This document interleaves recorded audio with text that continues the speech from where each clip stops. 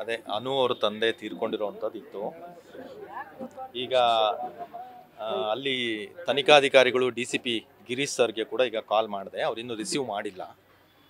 ಇವರೇನು ಹೇಳ್ತಾ ಇದ್ದಾರೆ, ಅವ್ರು ಬಂದು ಅನು ಅವನು ಬಂದು ನೋಡಲಿ ಅವ್ರ ತಂದೆಯವರ ಮುಖ ಅನ್ನುವಂಥದ್ದು ಇವರ ಕುಟುಂಬದ ಅಭಿಪ್ರಾಯ ಆಗಿದೆ. ಇಲ್ಲಿ ಈಗ ನಮ್ಮ ಎಸ್ ಪಿ ಸಾಹೇಬರಿಗೂ ಕೂಡ, ಧರ್ಮೇಂದ್ರ ಮೀನಾ ಅವ್ರಿಗೂ ಕೂಡ ಈಗ ಅವರಿಗೆ ಕಮ್ಯುನಿಕೇಟ್ ಮಾಡಿ ಸರ್. ಕಮ್ಯುನಿಕೇಟ್ ಮಾಡಿ ದಯವಿಟ್ಟು ಅವ್ರು ಬರುವಂಥ ವ್ಯವಸ್ಥೆ ಮಾಡಿ ಅಂತ ಈಗ ಹೇಳಿದ್ದೀನಿ.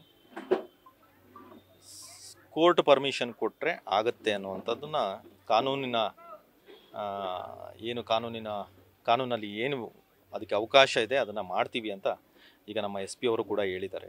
ಈಗ ಡಿ ಸಿ ಪಿ ಸರ್ ಅವರು, ಗಿರೀಶ್ ಅವರು ಈಗ ರಿಸೀವ್ ಮಾಡಿದಾಗ ಅವ್ರ ಕಡೆಯೂ ಕೂಡ ಒಂದು ಚರ್ಚೆ ನಡೆಸಿ ಆದಷ್ಟು ಅನು ಬಂದು ಈ ಕಾರ್ಯ, ಇವ್ರ ಕ, ತಂದೆಯ ಅಂತ್ಯಕ್ರಿಯೆಯಲ್ಲಿ ಭಾಗವಹಿಸೋದಕ್ಕೆ ವ್ಯವಸ್ಥೆ ಮಾಡಬೇಕು ಮಾಡ್ತೀವಿ ಅಂತ ಒಂದು ಭರವಸೆನ ಈಗ ಕುಟುಂಬದವರಿಗೆ ಕೊಟ್ಟಿದ್ದೀವಿ ಸರ್. ಅಂತ್ಯ ಸಂಸ್ಕಾರಕ್ಕೂ ಶಕ್ತಿ ಇಲ್ಲ ನಮ್ಮ ಹತ್ರ ಅಂತ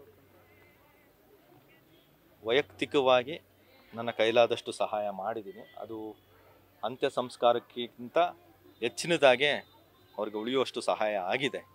ಅದರದ್ದು ಈಗ ಯಾವುದೇ ಹಣಕಾಸಿನ ಸಮಸ್ಯೆ ಅಂತ್ಯ ಸಂಸ್ಕಾರಕ್ಕೆ ಯಾವುದೂ ಆಗಲ್ಲ.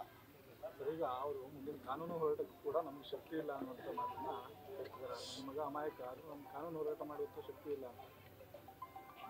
ಸರ್, ಕಾನೂನು ಹೋರಾಟ ಮಾಡೋದಕ್ಕೆ ನಮ್ಮ ಕೈಯಿಂದ ಏನು ಸಹಾಯ ಮಾಡಬೇಕು ಮಾಡ್ತೀವಿ? ಜೊತೆಗೆ ಸರ್ಕಾರದಲ್ಲೂ ಕೂಡ ಈಗ ಅದಕ್ಕೆ ಆದಂಥ ಸರ್ಕಾರದಲ್ಲಿ ನಾನೊಂದು ಅಪ್ಲಿಕೇಶನ್ ಹಾಕೊಂಡ್ರೆ ಅದಕ್ಕೆ ಲಾಯರ್ನ ವ್ಯವಸ್ಥೆ ಮಾಡುವಂಥದ್ದು, ಸರ್ಕಾರದಿಂದಲೇ ವ್ಯವಸ್ಥೆ ಮಾಡುವಂಥದ್ದು ಆಗುತ್ತೆ.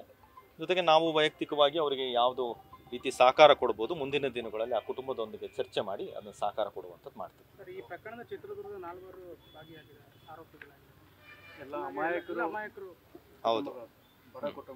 ಬಡ ಕುಟುಂಬಗಳಿಂದ ಬಂದಿರೋವಂಥವ್ರು ಆಗಿದ್ದಾರೆ sir.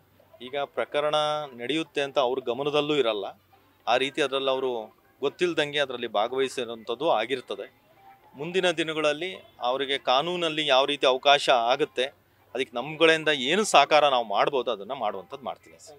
Thank you sir thank you news first ನಿರ್ಭೀತಿಯಿಂದ ನಿಮ್ಮ ಪರವಾಗಿ.